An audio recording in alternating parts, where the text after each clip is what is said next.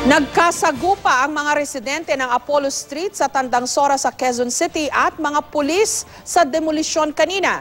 Naglipara ng mga bote, bato at mga kahoy sa lugar. Hindi bababa sa tatlong miyembro ng demolition team ang nakuna ng GMA News na nasaktan at isang pulis ang nabato. May mga residente ring nasaktan. May buntis pang kinailangang bigyan ng atensyong medikal. Ayon sa mga otoridad, naghahabol na ang tunay na may-ari ng lupang kinatitirikan ng komunidad.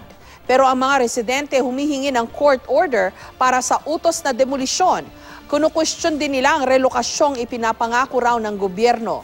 30,000 pisong financial assistance ang inaalok ng lokal na pamalaan sa bawat pamilyang kusang aalis sa lugar.